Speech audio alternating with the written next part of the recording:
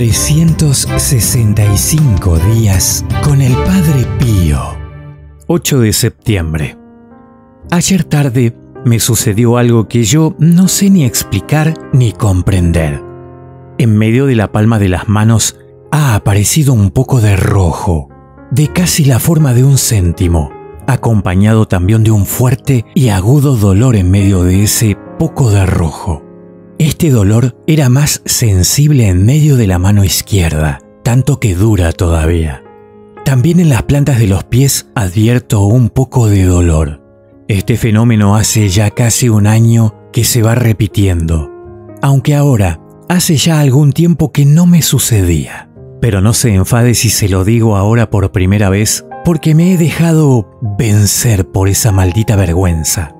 Y si supiera la violencia que he tenido que hacerme para decírselo ahora, muchas cosas tendría para decirle, pero me faltan las palabras. Solo le digo que cuando me hallo con Jesús sacramentado, los latidos del corazón son muy fuertes. A veces me parece que quiere salirse del pecho.